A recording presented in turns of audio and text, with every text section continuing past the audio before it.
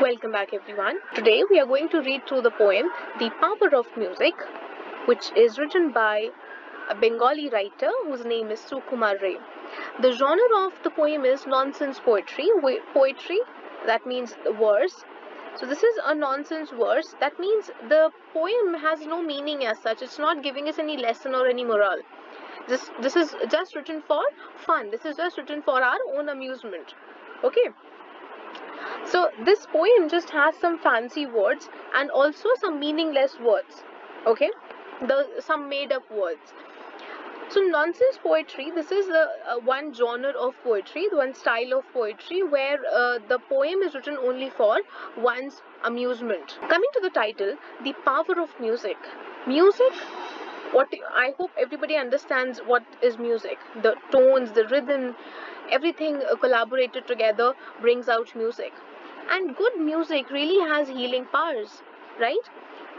When if if you are not feeling well if you are feeling lazy what do we do? We quickly put on some energetic some jazz and pop right? There are lots of genres of music like rap bhajan there is bhangra there is folk music pop music qawwali and many more. So we put up these kinds of music to relax ourselves to uh, make ourselves calm and happy to change our mood right? But what will happen if you listen to a terrible singer? You'll not feel good, right? Instead of becoming happy, instead of becoming calm and relaxed, you'll feel more dull. You'll not be, you'll not, you will not be happy to listen that, uh, listen to those uh, terrible uh, sounds, right?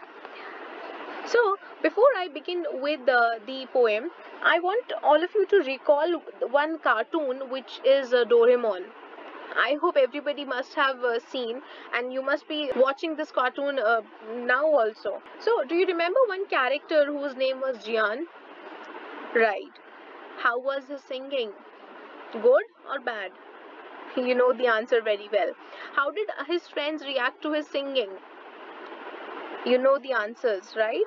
So likewise, there is this man in the poem whose name is Bhishma Lochan Sharma and you can relate to him really well because if you have seen that cartoon Doraemon and if you have seen that character of Gian, then you know what will be the reaction of people if Bhishma starts singing. So if Gian started singing, people did not like it at all, right? So likewise here, Bhishma Lochan Sharma, when he started singing, everybody was confused. Everybody pleaded him, requested him to please stop singing like Gian's friends did. Right? So, do you like to sing? Everybody likes to sing. If Gian can sing, everybody can sing, right? So, do people appreciate your singing? Do people like your singing? It depends on how good or bad you sing. So this poem is a funny one about a man whose singing had rather unusual effects on his listeners. People usually when they listen to anybody singing, they become happy. They become excited. But when people listen to Lochan Sharma, they are not at all happy. They are in pain. They just want to run away from there. They don't want to listen to his voice at all they don't want to listen to his voice at all. So this is the main plot of the poem where we talk about the power of music, how much powerful music can be. It can rejuvenate you, it can make you happy. Good music, music can make you happy and bad one can really spoil your mood. So when we'll meet in the next video lesson, we'll start with the explanation of the poem. Till then, go through the video lesson again so that you can understand the main theme and plot of the poem.